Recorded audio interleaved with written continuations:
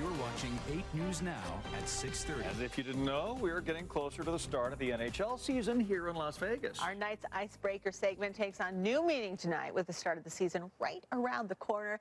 And Ron Futrell is here with the latest. Yeah, we got to hustle this up now, okay? The first practice is officially tomorrow at City National Arena, and we're starting to see the personality of this team take shape. Now, hockey teams have to have uh, the right mix. They got to have the scorers like James Neal on this team, oh, the tough guys who don't mind mixing it up, and the fun guy who can. Well, I, I guess we could say can break the ice. Well, the Knights have found that guy in Nate Schmidt.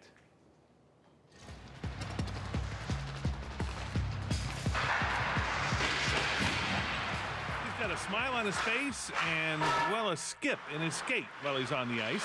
Schmidt came from the Washington Capitals as one of their top young defensemen. Now he'll play the role of icebreaker with the Knights. You look like you, you're having more fun out there than just about anybody else on the ice. I mean, smiling, uh, messing around with some of the guys. When you, you blocked the pass one time, and you, you were you were giving the guys uh, some grief. Why not? You know, it's just trying to, you know, 25 guys to come together. No one knows each other really, so just trying to lighten the mood a little bit. And that's just kind of my personality to, you know, have fun on the ice and, and you know, try and get the guys going a little bit, especially trying to poke at the forwards a little bit, make them a little better as well. So um, it was good. Just getting to know the guys each and every day has been, uh, it's been fun so far. Before last postseason, the Caps were picked by many to win the Stanley Cup, but they fell short. They ran into a Pittsburgh Penguins team with a pretty good goalkeeper. We played a hot team. We ran into a hot goalie, Marc-Andre Fleury. I actually talked to him about it a little bit today. It's good for me because I'm on the winning side, right? So it's a little easier. But um, I don't know. I guess if he gets too mouthy a bit, maybe I can just remind him about those uh, those playoff series. We need uh, new guys like that, and I'm glad uh, Nate is here with us, and uh, he can bring his personality on the ice in practice. And uh, yeah, you know, he, he works hard at all, but he just keeps everybody uh, smiling through, through it, and it makes uh, practice a lot more fun.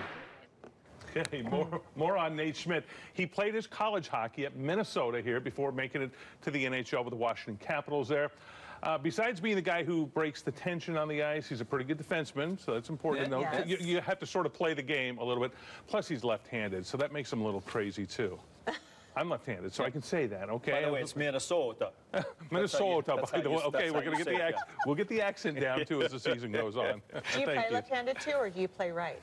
I don't play ho- play hockey At all, I do everything left-handed. No, I, I am left-handed with If you, everything. if you did baseball, play hockey, it would be left-handed. baseball, My- basketball, and yes. My dad is lefty, and he plays right. Oh, so yeah, okay, he's a weirdo. interesting. John weirdo. Langler and I, by the way, have already talked about going out on the ice and doing some. He's, He's- right-handed. I'm left-handed, but he's See? very good. He's I very am good. not. Right. Okay. So. Thanks, Ron.